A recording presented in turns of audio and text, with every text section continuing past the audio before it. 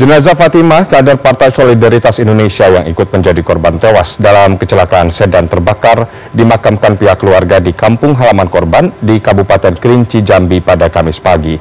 Meski mengaku terkejut dengan musibah yang terjadi, keluarga korban mengikhlaskan kepergian korban. Jenazah Fatimah tiba di kampung halamannya di kawasan Desa Kotomudik, Kecamatan Air Hangat, Kabupaten Kerinci, Jambi pada Kamis dini hari sekitar pukul 3 waktu Indonesia Barat. Setelah disalatkan di Masjid Al-Ikhlas yang tak jauh dari rumah duka, jenazah Fatimah langsung dimakamkan pada Kamis pagi.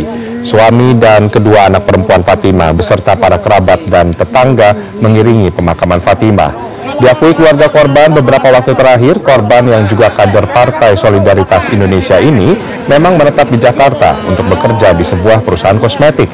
Sementara suami dan anaknya tinggal di Kerinci.